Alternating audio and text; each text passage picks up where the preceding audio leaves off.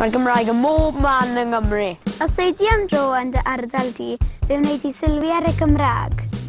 Helo, Cai. Helo. Fe ti am fi mynd i'r caffi? Ie. Yeah. Mae fe'n gred bod y pobl gallu darllen yn y ddwy iaith.